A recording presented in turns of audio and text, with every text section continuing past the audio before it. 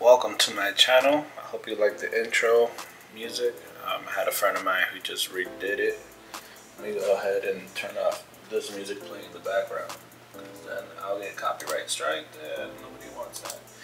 Anyways, so today we're going to be doing um, changing strings on a guitar. Now, um, I got a little froggy and I did um, more to the guitar than I thought I was going to than just change strings. So, yeah, let me flip over to it. As you can see, I always wanted a relic guitar and I've always had this guitar laying around, so I'm going into town to it to make it look relic. Now this is a Dean Vendetta, uh, one of the cheaper models of it, so that's why I chose this guitar versus this beauty right here and uh, my Gretsch because yeah I would cry if any of those got really damaged so this is what we're going to be working on um, my strings already popped um, I do have to adjust the bridge here there's some fret buzz I'm also going to do some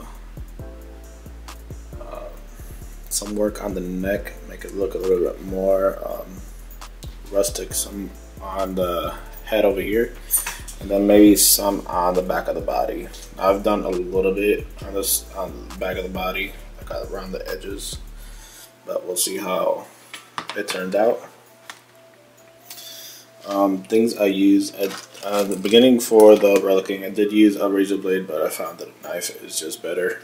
And we are going to be putting these heavy babies slinky top heavy bottom skinny top heavy bottom Ernie Ball strings on this baby. Um, I do have this guitar tuned to I believe is E flat.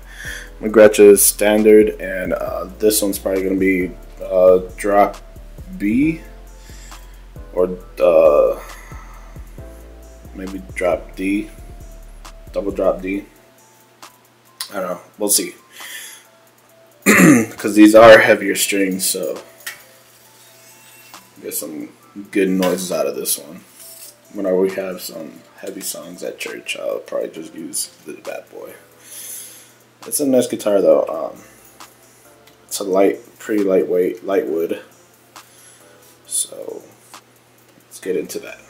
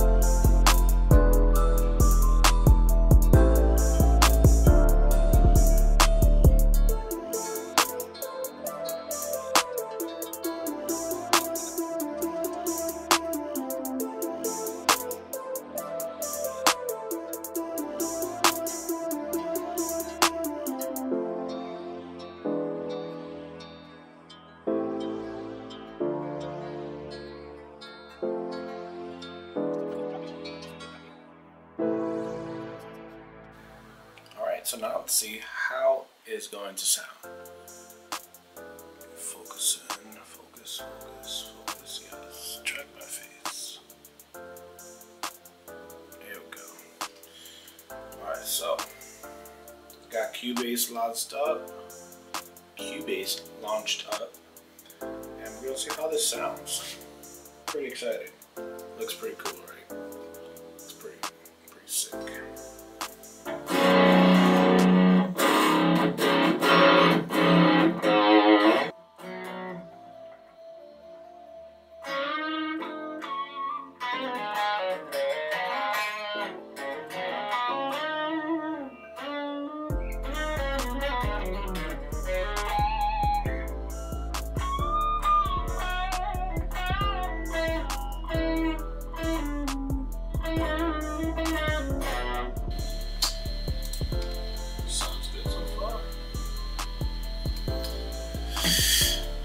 that is how you put strings on a guitar. Alright, so as I'm editing the video, I noticed that I failed to do um, a lot of things. Um, like to mention what I used um, to even change the strings. So, um, just gonna real quick grab some tools. Still trying to get used to looking at the camera, so that's like weird to me. Um,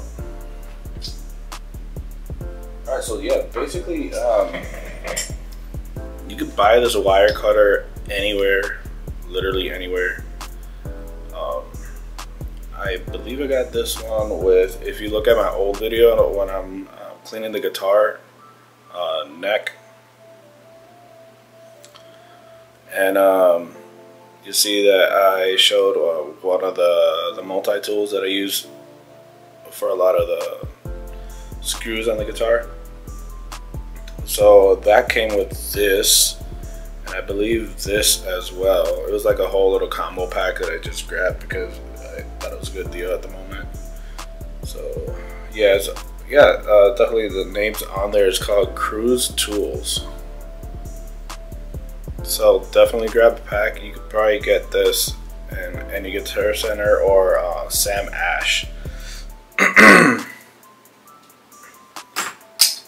I'm sorry, I'm coughing a lot. Um, if that is really annoying, I do try to cut them off. Um, I find it very annoying. Uh, COVID did happen in my life, and uh, is the result. I have a continuous cough that never leaves. Leaves. So again, um, wire cutter from Cruz Tools, uh, and then you can also find the multi-tool in my last video. And then um, the string winder, I believe it also came with that little package. But um, definitely um, helpful tools.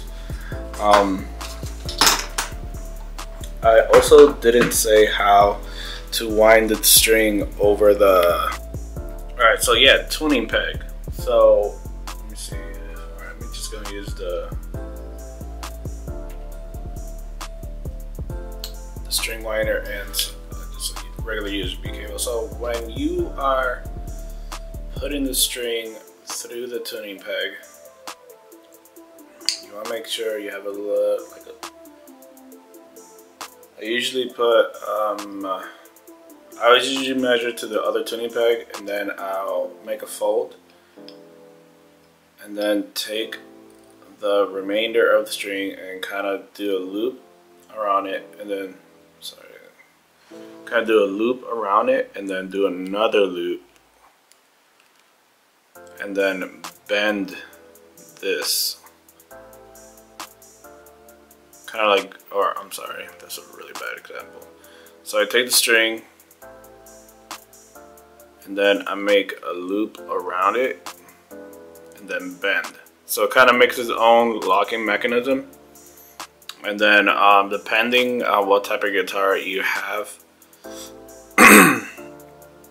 uh, Gibsons and Gretsch have that really weird angle on the neck uh, towards the head of the guitar where it's like really inclined. It's like really crazy.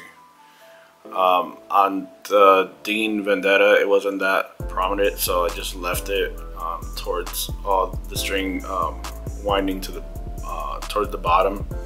But if you do have a Gretsch or a Gibson, the way you want it to wind is to you want it to wind at least the D and G strings to the top of the tuning peg. So I know a lot of other YouTube channels do a whole lot better. Like this to this position so then what will happen is um, it's going to be less stress and then your strings are going to be uh, in better shape to keep tune versus the when it's winded to the bottom it creates more tension and then it just follows that that angle that's not what you want you don't want the string to follow the angle, you want it to keep it up top. so that way it's straight. And then when you do your your trim bends or uh, regular bends, um, your string will come back to shape or back to tune. Um, I've had many instances where I where I do a bend or a trim uh, bend and then I go try to go into a solo and my guitar is just really out of tune. Everybody's looking at me like, my guy, you had one job. So that is all. Finally. So yeah, stay tuned to my next video. I will be going over my presets and also yeah, some presets. Let's do some presets. Hopefully I'm following my um, my five episode plan. If not, if we don't do presets next video, we'll definitely get to it. Alright, stay tuned.